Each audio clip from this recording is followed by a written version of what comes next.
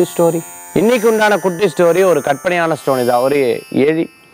ஒரு நாலஞ்சு பேர் இருக்காங்க அதில் ஒன்று பார்த்துட்டேல் அப்படின்னு சொன்னால் அழகாக போய் பீட் எடுத்து கட்டிகிட்டே இருக்குது இன்னும் ரெண்டு எலி பார்த்துட்டு என்னடா அது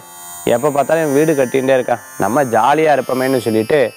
அங்கே இருக்கக்கூடிய சின்ன சின்ன பொருட்கள் எடுத்து கட்டி நம்ம இருக்கிறதுக்கு இருந்தால் போதும்னு ஆனால் இது அப்படி கிடையாது சுத் சுற்றிலும் இருக்கக்கூடிய கல்லெல்லாம் எடுத்துகிட்டு வந்து கொஞ்சம் கொஞ்சமாக கொஞ்சம் கொஞ்சமாக கட்டுது கல்லெல்லாம் எடுத்துட்டு கொஞ்சம் கொஞ்சமாக கட்டும்போது பக்கத்தில் இது பார்க்குது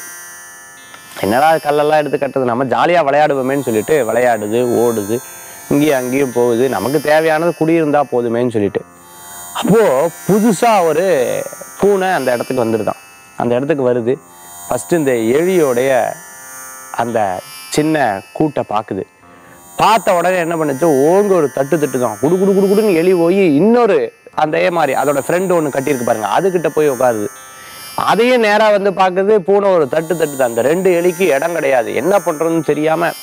குடுகுடுன்னு ஓடி போய் அந்த சின்ன சின்ன கல்லெல்லாம் சேர்த்து வச்சு கட்டியிருக்கு பார்த்தீங்களா அதுக்குள்ளே போய் ஒளிஞ்சு கொடுத்தான் அதுக்குள்ளே போய் ஒளிஞ்சு விட்டோன்னே இந்த கூட வந்த எலி இதை ரெண்டையும் அரவணைச்சு வாங்கன்னு சொல்லி சேஃப்டியாக இருக்க வச்சு தான்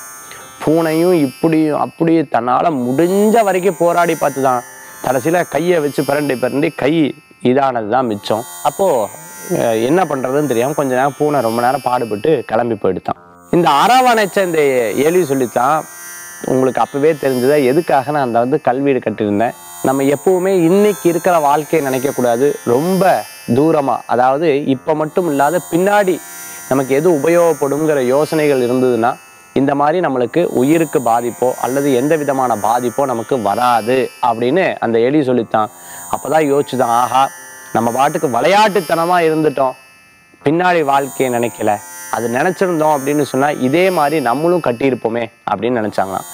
இது பாருங்க ஒரு கற்பனையான ஸ்டோரி தான் ஆனால் நம்ம இந்த நாளை கழிக்கும் பொழுது இந்த நாளை இன்னைக்கு முழுசாக பயன்படுத்தும் பொழுது இதை உபயோகமாக பயன்படுத்தணும் அப்படின்னா அந்த கல் வீடு போல் நம்ம பின்னாடி ரொம்ப ஸ்ட்ராங்காக இருப்போம்